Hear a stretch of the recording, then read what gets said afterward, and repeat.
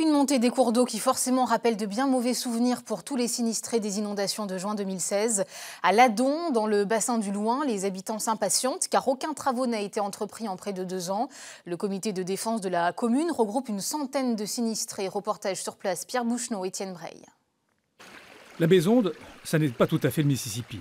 Mais pourtant, en juin 2016, cette rivière d'apparence modeste est sortie de son lit et a inondé une partie du village de Ladon, dont la propriété d'Alain Le Thor. Et aujourd'hui, après des semaines de pluie Aujourd'hui, la besoin est bien redescendue. Le seul problème, c'est qu'il y, a un jour et demi, deux jours, euh, la besoin était arrivée à ce niveau-là.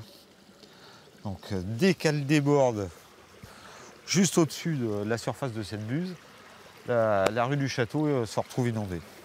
Cette fois, les nappes phréatiques, parce qu'elles étaient à un niveau très bas, ont en effet évité le pire. Mais comment se fait-il que ce village soit désormais régulièrement menacé? Elle a besoin de faisait 300 km. Elle en fait aujourd'hui 100.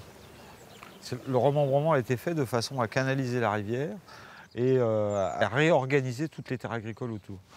Euh, les terres euh, agricoles, bah forcément, depuis, ont, évolué aussi. Hein. Le, le, modèle agricole tel qu'il est fait aujourd'hui, on a drainé les terrains. tout ça, ça va dans les rivières, dans les fossés, etc. Et tout ça, ça revient dans nos rivières. La solution prônée par le comité de défense de l'Adon, c'est de faire à nouveau la part de l'eau, de libérer des espaces en amont des zones habitées pour que le trop-plein des crues puisse s'y déverser. Ces zones d'expansion des crues, c'est aussi ce que prône le syndicat d'élus en charge du bassin versant dont dépend cette rivière. Il s'agit surtout de surinonder les terres agricoles en amont, c'est-à-dire de retenir l'eau pour qu'elle vienne moins massivement dans les zones habitées. L'agence de l'eau a déjà prôné ce, type d'opération dans l'Oise, ça se fait déjà. Donc on retient 15, 20, 30 cm d'eau en amont, c'est-à-dire qu'au lieu d'avoir par exemple 1m75 hier à Montargis, on aurait eu 1m45. il est certain qu'avec ça, on avait une marge de manœuvre beaucoup plus appréciable.